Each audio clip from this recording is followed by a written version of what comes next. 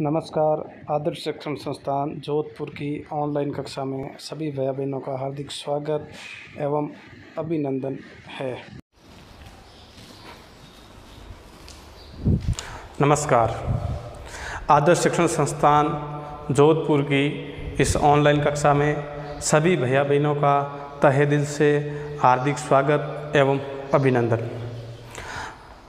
आज हम इस वीडियो में अपने कक्षा षष्ठी के संस्कृत विषय में, जो कि पिछले लगातार दो वीडियो से प्रथम पार्ट चल रहा है। पिछले ही वीडियो में, जो कि हमने इस पार्ट के प्रश्न उत्तर किए थे। तो आधे प्रश्न उत्तर हो गए थे और आधे प्रश्न उत्तर जो शेष रह गए हैं, उसको आज करते हुए इस पार्ट को हम आज पूरा करेंगे। आज इस वीडियो में हम को प्रथम पाठ पूरा हो जाएगा। तो अपनी पाठ्य पुस्तक निकालिए और आज हम प्रश्न क्रमांक पाँच पर हैं। प्रश्न क्रमांक पाँच। आपको बता देते हैं कि हमारा चल रहा है पाठ प्रथम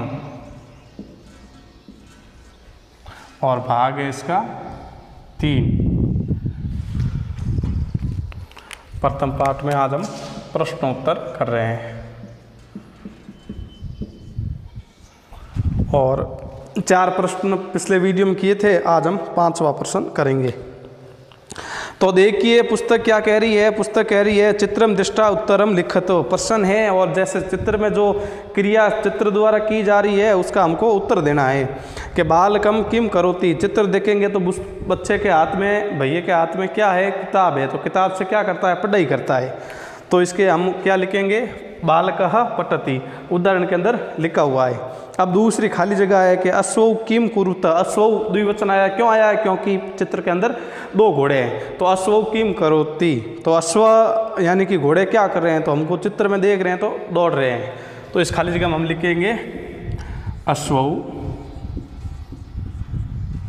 धावत। ये हम दो खाली जगह में लिखेंगे। अश्व धावत। अगला है कुकुराहा किम कुरवंती कुकुराहा किम कुरवंती तो कुत्ते क्या कर रहे हैं? तो कुकुराहा उक्कंती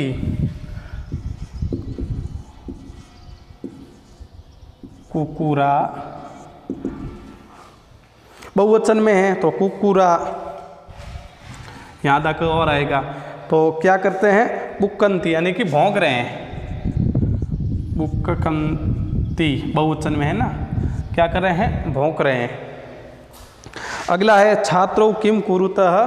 तो यहाँ पर हम लिखेंगे, छात्रों पठत बोल रहे हैं, वदत। छात्रों वदत। अगले चार चित्र में है, कृषक किम करोति? तो कृषक कृष्यति। कृष्यति यानी खेत के अंदर कार्य करना, बैल को जोतना। कृषक कर्ष्यति। कर्षति अगला चित्र है, गजौ किम कुरुत तो गजौ चलत। गजौ चलत। आगे हम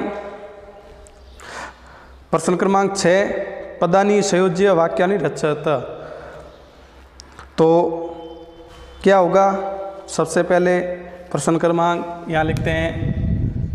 प्रश्न क्रमांक छः। तो गजा चलंती, ऐसा वाक्य लिखेंगे। गजा चलंती। आगे है, सिंह गर्जत। सिंह गर्जत। आगे हम तीसरा गायक गायती। गायक गायती। चौथा है बालकौ पठत।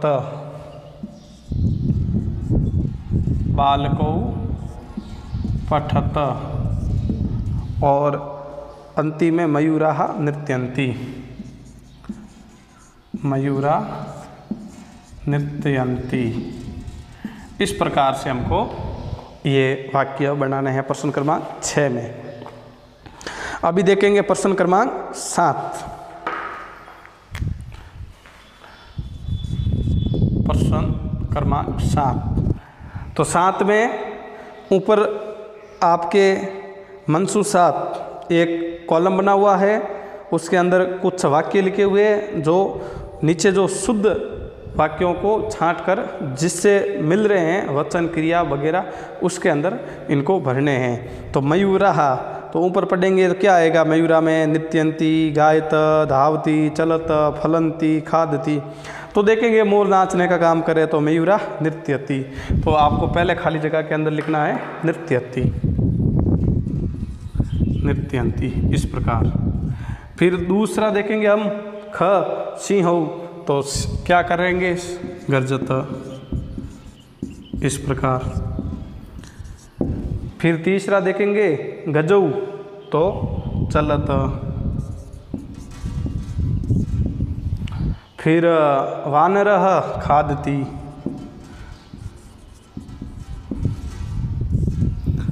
अगला देखेंगे वृक्ष फलत वृक्षा बहुवचन में है फलंती बहुवचन में हो जाएगा फलंती और अश्व, धावती। अश्व हो जाएगा, धावती। तो इस प्रकार ये खाली जगह लिखनी है। आठवां प्रश्न है आपके, सर्वनाम, यानी कि अश्व का जिसमें स तौते तीन शब्द है। इनमें अगर एक वचन का है तो स लिखना है, द्विवचन का है तो तऊ लिखना है और बहुवचन का है तो ते लिखना है। तो प्रारंभ में देखेंगे हम प्रश्न क्रमांक आठ। पहला है आपके गजाहा। तो गजाहा बहुवचन में है तो उत्तर में आएगा ते। दूसरा है छात्रो। द्विवचन में है तो आएगा तऊ अगला शब्द है अपने वानराहा, बहुवचन में है तो बहुवचन के लिए ते। चौथा देखेंगे, गायक एक वचन में है तो आएगा सह पांचवा हम देखेंगे, मयूराहा, बहुवचन में है तो आएगा ते। ये इस प्रकार अपने को ये खाली जगहें आठ की करनी है। तो ये आप देखिए आज, ये आपका पांचवा प्रश्न, छठा प्रश्न, सातवां प्रश्न और आठवां प्रश्न। आपके पुस्तक में खाली जगह आई हुई है, इनको आपको देखकर अपनी खाली जगह को करनी है। आगे हम देखेंगे दातव्यम। क्या है दातव्य में? तीन चीज़ें बड़ी जानकारी की है और बहुत ही काम की चीज़ें हैं। तो संस्कृत त्रिणी लिंगानी भवंती संस्कृत के अंदर तीन लिंग होते हैं। बहुत ही वेरी वेरी इंपॉर्टेंट पर्सन है ये तीनों। आपको अभी इसी वीडियो को देखते देखते आपको याद करना है आज। कि संस्कृत त्रिणी लिंगानी भवंती संस्कृत के अंदर तीन लिंग होते हैं। कौन कौन से? पुल्लिंगम, स्त्रीलिंगम नपुषलिंगम कितने हो गए? तीन। तो एक बार पुनः आपको बताता हूँ। संस्कृत त्रिणी लिंगानी भवंती संस्कृत के अंदर तीन लिंग होते हैं। पुल्लिंगम, स्त्रीलिंगम नपुषलिंगम दूसरा, संस्कृत त्रय पुरुषा भवंती संस्कृत के अंदर तीन पुरुष होते हैं। प्रथम पुरुष, मध्यम पुरुष, उत्तम पुरुष। कितने होते हैं? तीन। कौन कौन से? प्रथम पुरुष, उत्तम पुरुष, मध्यम पुरुष। और तीसरा प्रश्न, संस्कृत त्रीणी वचनानि भवंती संस्कृत के अंदर तीन वचन होते हैं। एक वचनम, द्विवचनम और बहुवचनम। कितने वचन होते हैं? तीन, यानी कि त्रय। कौन कौन से? एक वचनम द्विवचनम, बहुवचनम। तो इस धातव्यों को भी आपको अपने कॉपी के अंदर करना है, काम यहाँ पर आया हुआ है।